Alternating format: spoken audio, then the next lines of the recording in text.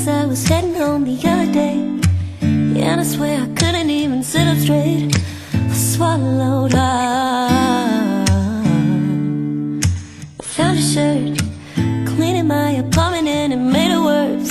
And I swear you couldn't even see the hurt. I swallowed